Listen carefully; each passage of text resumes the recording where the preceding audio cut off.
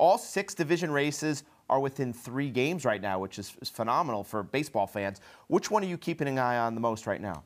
Well, you know, you say that, but also, but if you look at the American League, you can lock in a lot of these playoff teams. I mean, the AL East. You can. In May. what are we? May. Oh, I 18th? can lock in. We yeah? can lock them in right now. And you know, the AL East. Look, it's a great race, but the uh, the Yankees and the Red Sox are both making the playoffs, playoffs no doubt, and yeah. so it's going to come. I mean, I look at the NL and the NL East specifically four teams there. I mean, let's forget about the Marlins, and four teams that have just a terrific chance. I mean, the Braves, I mean, with their young talent, Freddie Freeman, Acuna, Albies, I mean, these guys, I mean, the Braves, for my money, one of the most exciting teams out there. The Nationals, the window's closing, the urgency is there.